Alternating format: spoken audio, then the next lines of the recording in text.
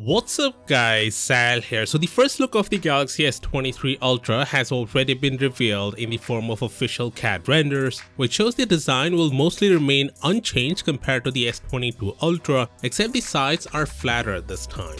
However, there will be another change in the design that no one is talking about, and that will be at the camera module of the S23 Ultra. And today we have a real life picture to show you exactly what I'm talking about. Here it is. This image was shared by Ice Universe on Weibo and at first glance you'd say doesn't that look the same as the S22 Ultra's camera design? Well, there is a small change that is enhancing the look of the module. Let me explain. You see the S22 Ultra's camera lens is totally flat. There's an outer ring and a flat lens. But the S23 Ultra's lens is like the Watch 5 Pro with an elevated edge around the lens, which is a nice little change that will surely enhance the overall look of the module. Not only that, but he also shared the first ever camera sample of the S23 Ultra and it shows the 200 megapixel camera is not a gimmick.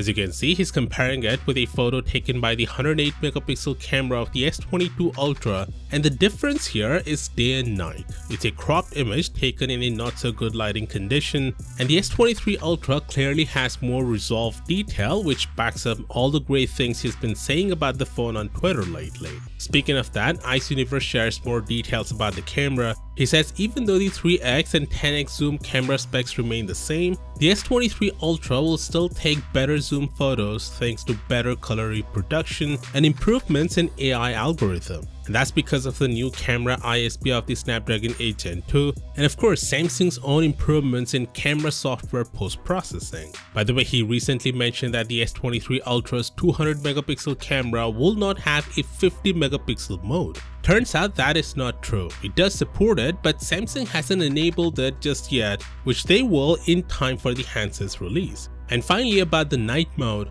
we recently learned that the night photography of the S23 Ultra has been greatly improved to a point where it's being said that it's their biggest improvement in 5 years. Today he shares more details about it. He says in an environment with almost no light, the S23 Ultra's 5 second night mode takes way better images than the S22 Ultra's 6 second mode. Not only is brighter, but the image quality has been greatly improved, which is great news. Speaking of great news, here's one for the Galaxy S22 users. Despite offering the best camera features, the S22 handsets lacked astrophotography mode to take clear images of the night sky introduced by Google in 20 2019. But that is finally changing. Samsung is issuing a software update that enables this feature. Do know that you need to download the Expert RAW app from Galaxy Store and use astrophotography mode from there as it's not available in the normal camera app. The S23 Ultra will launch with One UI 5 and Android 13. To see the 10 best changes we're gonna see with the new software, click here and I'll see you tomorrow. Peace out.